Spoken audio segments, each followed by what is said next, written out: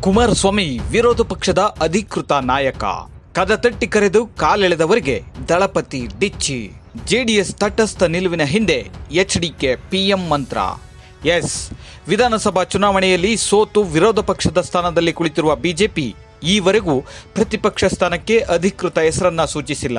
ಇದಕ್ಕೆ ದೀರ್ಘವಾಗಿ ಕಾಂಗ್ರೆಸ್ ಕಾಲೆಳೆಯುತ್ತಲೇ ಬಂದರೂ ಬಿಜೆಪಿ ಮಾತ್ರ ತುಟಿ ಪಿಟಿಕ್ ಎಂದಿಲ್ಲ. ಕಾರಣ ಬಿಜೆಪಿಯಲ್ಲಿ ಸಾಲು ಸಾಲು ನಾಯಕರಿದ್ರೂ. ಹೊಂದಾಣಿಕೆ ಕೊರತೆ ಎದ್ದು ಕಾಡುತ್ತಿದೆ ಎನ್ನಲಾಗಿದೆ. ಶೋಭಾ ಕರಂದ್ಲಾಜೆ, ವಿ ಸೋಮಣ್ಣ, ಆರ್ ಅಶೋಕ್, ಸುನಿಲ್ ಕುಮಾರ್, ಬಸವನಗೌಡ ಪಾಟೀಲ್ ಯತ್ನಾಳ್ ಹೀಗೆ ಹಲವು ನಾಯಕರು ಪ್ರತಿಪಕ್ಷ ನಾಯಕ ಸ್ಥಾನದ ಮೇಲೆ ಕಣ್ಣಿಟ್ಟಿದ್ದಾರೆ. ಆದರೆ ಅದೊಂದು ಕಾರಣಕ್ಕೆ ಮಾತ್ರ ಆ ಸ್ಥಾನಕ್ಕೆ ಇನ್ನೂ ಹೆಸರು ಫಿಕ್ಸ್ ಆಗಿಲ್ಲ. ಅದು ಲೋಕಸಭಾ ಚುನಾವಣೆ ಹತ್ತಿರ ಇರುವಾಗ ಕಾಲ ಮೇಲೆ ಕಲ್ಲು ಹೆತ್ತಾಕಿಕೊಳ್ಳುವುದು ಬೇಡ ಅಂತ ವರಿಷ್ಠರು ತೀರ್ಮಾನಿಸಿದ್ದಾರೆ ಎನ್ನಲಾಗಿದೆ. ಎಸ್. ಲಕ್ಷ್ಮಣ್ ಸವದಿ ಹೇಳಿದಂತೆ ಬಿಜೆಪಿಯಲ್ಲಿ ವಿರೋಧ ಪಕ್ಷ ಸ್ಥಾನದಲ್ಲಿ ಕುಳಿತು ಹೋರಾಡುವಂತಹ ನಾಯಕರು ಇನ್ನೂ ಇಲ್ಲ.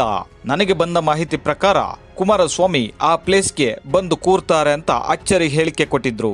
ಮೇಲ್ಗಡೆ ಅವರು ನನಗೆ ಹೇಳಿ ಹಳೆ ಸಂಪರ್ಕ ಅಲ್ಲ, ಯಾರ್ಯಾರು ಹಳೆ ಫ್ರೆಂಡ್ಸ್ ನನಗೆ ಹೇಳ್ತಿರ್ತಾರೆ. ಬಹಳ ಕಚ್ಚಾಡ ಕಚ್ಚಿದ್ದಾರೆ ಏನು ಪ್ರಯೋಜನ ಆಗಲ್ಲ. ಬಟ್ ಕರೆಕ್ಟ್ ಆಗಿ ವಿರೋಧ ಪಕ್ಷದ ಸ್ಥಾನದಲ್ಲಿ ಕೂತ್ಕೊಂಡು ಕರೆಕ್ಟ್ ಆಗಿ ಯಾರಾದ್ರೆ ಕೆಲಸ ಮಾಡೋರಿದ್ರೆ ಅದು ಕುಮಾರಸ್ವಾಮಿ ಅವರು ಇದಾರೆ ಅದ್ರಗೋಸ್ಕರ ನೀವು ಸೈಲೆಂಟ್ ಇರಿ ಅವ್ರು ಮಾಡ್ತಾರೆ. ಮುಂದೆ ಅದನ್ನ ಡೆಪ್ರೆಷನ್ ಮಾಡಿ ಕೊಡುವಂತದ್ದು ವಿಚಾರ ನಡೆದಿದೆ.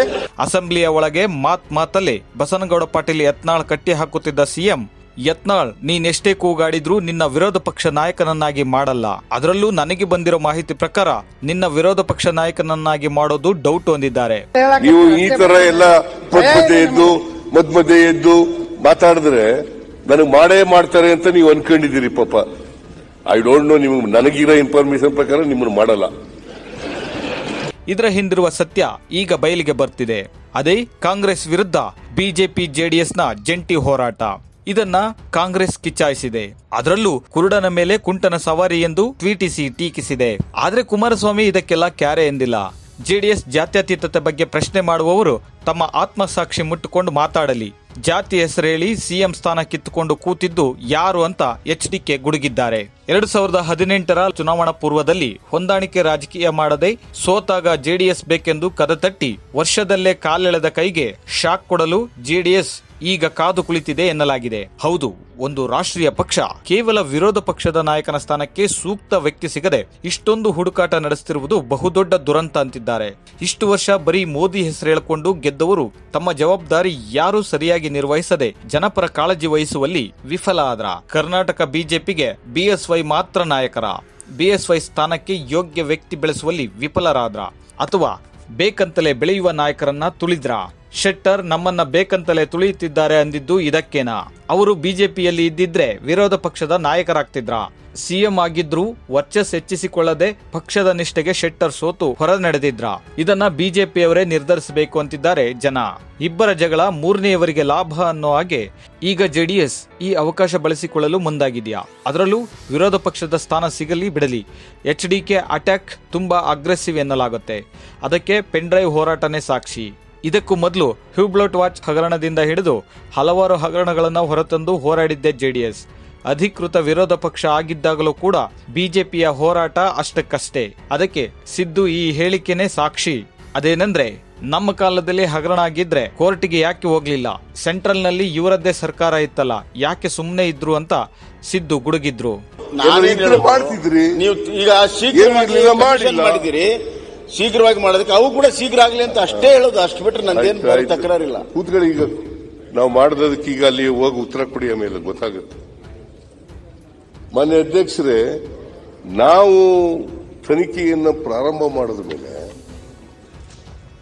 ಈಗ ಹೇಳ್ತಾವ್ರೆ ಎರಡ್ ಸಾವಿರದ ಹದಿಮೂರರಿಂದ ಮಾಡಿ. ಯಾಕೆ ಎರಡ್ ಸಾವಿರದ ನಲವತ್ತೇಳರಿಂದಲೂ ಮಾಡೋಣ? ಫಾರ್ಟಿ ಸೆವೆನ್ ಇಂದಲೂ ಮಾಡೋಣ? ಅವಕಾಶ ಇದ್ದಾಗ ಮಾಡಬೇಕಾಗಿತ್ತು. ಅವಕಾಶನ ಇದ್ದಾಗ ಮಾಡಲಿಲ್ಲ. ಈಗ ಮಾಡಿ ಅಂತ ಹೇಳಿದ್ರೆ ಅದಕ್ಕೇನಾದರೂ ಬಲ ಇದೆಯಾ? ಅಲ್ಲಿಗೆ ಬಿಜೆಪಿ ಆಡಳಿತ ನಡೆಸುವಲ್ಲಿ ಮತ್ತು ವಿರೋಧ ಪಕ್ಷದಲ್ಲಿ ಕುಳಿತು ಹೋರಾಟ ಮಾಡುವಲ್ಲಿ ಎರಡರಲ್ಲೂ ವಿಫಲವಾಯ್ತಾ? ಈಗ ಲೋಕಸಭಾ ಚುನಾವಣೆ ಹತ್ರ ಬರ್ತಿದೆ. ಮೋದಿ ಹೆಸರೇಳಿ ಗೆಲ್ಲುವ ಕನಸು ಕಾಣುವ ರಾಜಕಾರಣಿಗಳು ಈಗ ಸ್ವಲ್ಪ ಶೇಕ್ ಆಗ್ತಿದ್ದಾರಾ? ಜನ ಉಚಿತ ಗ್ಯಾರಂಟಿಗಳಿಗೆ ಮಾರು ಹೋಗಿರುವುದು ಬಿಜೆಪಿಗೆ ಸಣ್ಣ ಜರ್ಕ್ ಕೊಟ್ಟಿದೆಯಾ? ಹಾಗಾಗಿಯೇ ಎನ್ಡಿಎ ಮೈತ್ರಿಕೂಟದಲ್ಲಿ ಹಳೆ ದೋಸ್ತಿಗಳನ್ನ ಸೇರಿಸಿಕೊಳ್ಳಲು ಬಿಜೆಪಿ ಹಾತೊರೆಯುತ್ತಿದೆ. ಅದರಲ್ಲೂ ಯುಪಿಎ ಈಗ ಇಂಡಿಯಾ ಆಗಿ ಬದಲಾಗಿದೆ. ಇದು ಎಷ್ಟರ ಮಟ್ಟಿಗೆ ಅಂದ್ರೆ ಕೇಂದ್ರದಲ್ಲಿ ಯಾರಿಗೂ ಸ್ಪಷ್ಟ ಬಹುಮತ ಬರದ ರೀತಿ ತೃತೀಯ ರಂಗ ಹುಟ್ಟಿಕೊಂಡು ಸರ್ಕಾರ ರಚಿಸುವಷ್ಟರ ಮಟ್ಟಿಗಾದ್ರೂ ವೋಟ್ ಕೀಳುವಷ್ಟರ ಮಟ್ಟಿಗೆ ಬೆಳೆದು ನಿಂತಿದೆ. ಇಲ್ಲೇ ಇಲ್ಲೇ ಇರೋದು ನೋಡಿ ದೊಡ್ಡ ಗೌಡರ ದೊಡ್ಡ ಗೇಮ್. ಮತ್ತೊಮ್ಮೆ ಜೆಡಿಎಸ್ ತೃತೀಯ ರಂಗದ ಮೂಲಕ ಕೇಂದ್ರದಲ್ಲಿ ಚುಕ್ಕಾಣಿ ಹಿಡಿಯೋ ಸಾಹಸ ಮಾಡಿದ್ರು ಕುಮಾರಸ್ವಾಮಿ, ಪಿಎಂ ಆಗೋದ್ರಲ್ಲಿ ಎರಡು ಮಾತಿಲ್ಲ ಎನ್ನಲಾಗುತ್ತೆ. ಕಾಂಗ್ರೆಸ್ ತಿರಸ್ಕರಿಸಿದ್ರೆ ಜೆಡಿಎಸ್, ಬಿಜೆಪಿ ಸೇರಲು ಮೀನಾಮೇಷ ಎಣಿಸುತ್ತೆ. ಕುಮಾರಸ್ವಾಮಿ ಬಿಜೆಪಿ ಕಡೆ ವಾಲಿದ್ರೆ ದೊಡ್ಡಗೌಡರು ತಮ್ಮ ಮೂಲ ವೋಟ್ ಬ್ಯಾಂಕಿಗೆ ಹೊಡೆತ ಬೀಳುತ್ತೆ ಅಂತ ಸಿಡಿದು ನಿಂತಿದ್ದಾರೆ. ಜೆಡಿಎಸ್, ಮುಸ್ಲಿಂ ಸಮುದಾಯದ ವೋಟ್ ಒಮ್ಮೆ ಕಳೆದುಕೊಂಡರೆ ಮರಳಿ ಪಡೆಯಲು ಸಾಧ್ಯವಿಲ್ಲ ಎನ್ನಲಾಗಿದೆ. ಹೀಗಾಗಿ ಅತ್ತ ದರಿ, ಇತ್ತ ಪುಲಿ ಎನ್ನುವಂತಾಗಿದೆ ಕುಮಾರಸ್ವಾಮಿ ನಡೆ. ಒಟ್ಟಿನಲ್ಲಿ ಬಿಜೆಪಿಯಲ್ಲಿ ವಿರೋಧ ಪಕ್ಷದ ನಾಯಕನ ಸ್ಥಾನ ಇನ್ನು ಖಾಲಿ ಬಿಟ್ಟಿರುವುದು ಕುಮಾರಸ್ವಾಮಿ ಅವರಿಗೋ ಅಥವಾ ಬಿಜೆಪಿಯಲ್ಲೇ ಒಬ್ಬರನ್ನ ಆಯ್ಕೆ ಮಾಡುತ್ತಾರೋ ಎಂಬುದನ್ನ ಕಾದು ನೋಡಬೇಕಾಗಿದೆ.